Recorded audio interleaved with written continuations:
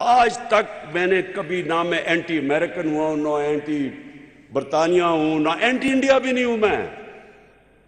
वो तो कोई जाहिल आदमी हो जो एक पूरे मुल्क के खिलाफ हो जाए। उससे तो बेवकूफ़ आदमी नहीं हो सकता। अमेरिका की वॉर ऑन टेरर के मैं पहले दिन से खिलाफ था, मैं हमेशा खिलाफ रहूँगा। मैं चैलेंज करता हूँ कि पाकिस्तान की तारीख में किसी गवर्नमेंट ने साढ़े तीन साल में इतना ज़्यादा काम नहीं किया।